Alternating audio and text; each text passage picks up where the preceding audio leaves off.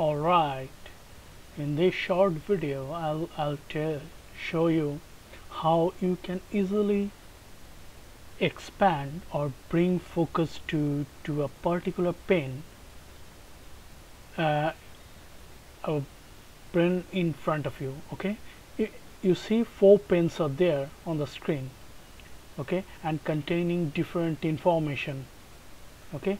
At any moment of time you want to focus on one particular thing okay? One particular. For that you need to bring up one of them in front of others. That means focus large and cover the full screen. So other two will go in the back. Once you are done you can bring back this particular structure with a four pane or whatever the pane you have bring back to this structure. You understood? The basic idea is to get any one of the pane entirely capture the screen and come in front to work on it. Okay? For this has to happen I have bounded a key with control C F in my .emacs file. If I if I see the focusing on particular pane right? If I want to bring up this particular frame in front what I have to do? Control C and F. See? It hide the other three pane. Okay? It brings up the particular frame I'm interested to work on at this very once I'm done with it I again press control C F. See? It brings back the old pane structure simple one single key bounded to it's a toggling key control C F. So if I go to any other pane say I'm on deft right? If I want to bring it up just control C F. See? It is full screen now other three has been hidden.